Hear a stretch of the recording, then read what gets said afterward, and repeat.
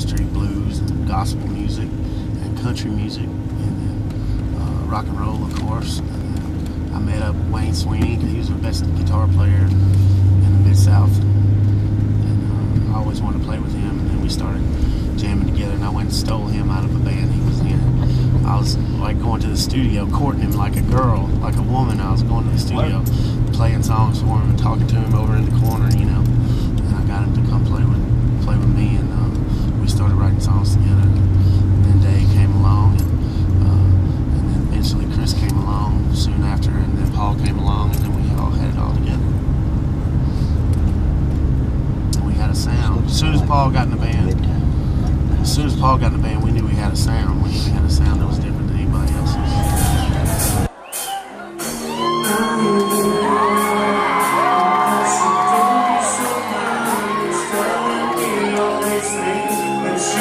What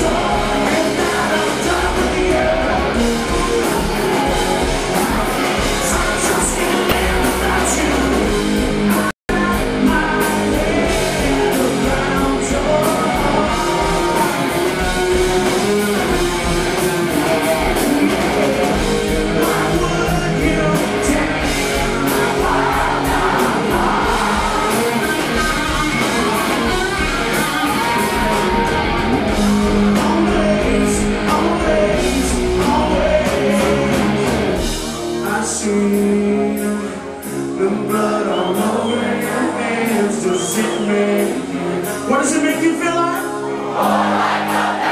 Was it all? Was it just a part of your plan? The pistol shaking in my hands, and all I can hear is.